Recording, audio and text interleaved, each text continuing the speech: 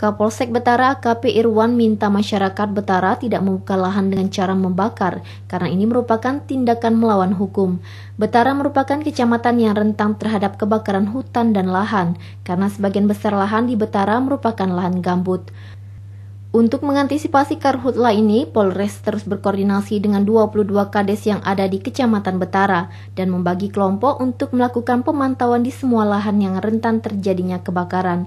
Kapolsek juga menjelaskan pelaku pembakaran akan diancam dengan hukuman kurungan 15 tahun dan denda 2 miliar rupiah.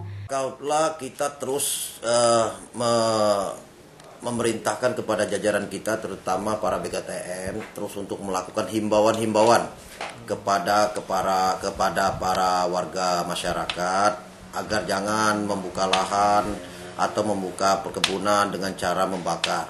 Baik sengaja atau tidak sengaja itu jangan sampai dilaksanakan akan kena sanksi pidana.